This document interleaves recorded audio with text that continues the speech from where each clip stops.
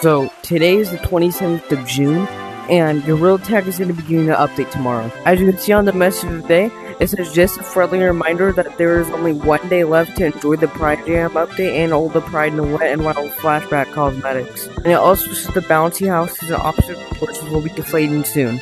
So play around on the bouncy houses and obstacle courses while you still can because they will be gone. And make sure to buy the Pride Jam cosmetics or the flashback cosmetics if you would like to because they will be gone and I don't think these will be returning. There's a possibility, but because of the backlash of the community, I don't think they will be returning. Now to the actual point of the video.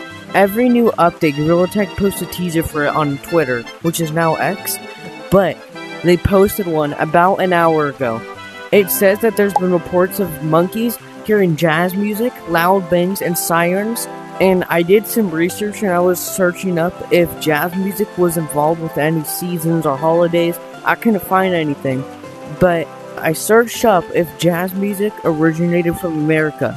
And it said it did. And I went on a website and then I found that it said jazz music has become a pride point to the United States of America. So this could potentially mean we'll be getting a 4th of July update tomorrow and an addition to the rotating map or caves. And the reason why I think the old caves map will stay is because why the hell would they add that new section to the mines just for it to be gone the next week?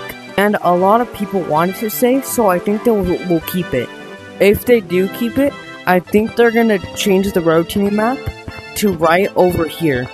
The reason for this is because this is like an empty space, there's not really anything, and it's pretty secretive too. Tell me what you guys think this update is going to be in the comments. Also, tell me if you're excited for it. Me personally, I am, because this isn't really the greatest update in my opinion. But yeah, thank you guys for watching, and also make sure to go check out the update video. I'm going to be posting it tomorrow. I'm going to be reacting to the new update. Hopefully it's good.